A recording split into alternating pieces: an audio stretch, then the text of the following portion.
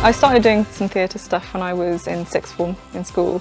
When we had school productions that we'd put on, I got involved in the technical side of it, doing some follow spotting.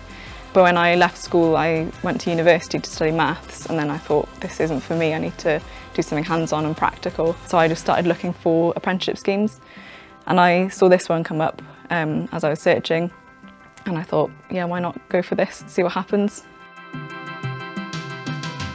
I always had a bit of an interest in the creative sector, but I, I wanted to do something technical as well.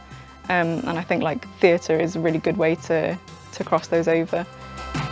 So the scheme involves working with uh, all the departments in theatre, so mainly sound, lighting and stage. There's a lot of training involved as well, so they'll train you um, to the level that they need you at. So I'd say there's probably not a typical day in theatre. There's always something different happening. That means it's exciting. There's always something interesting. Um, you meet loads of creative people um, and get to work on some amazing shows. I knew very little when I started. It surprises me how much you can learn in such a short space of time. Not only that, but my physical fitness has improved a lot. Once you've had the apprenticeship qualification, you can just sort of apply wherever you want and as long as they're happy with the amount of experience that you've had um, then you can work as like a freelancer or you can sign up as a casual staff member.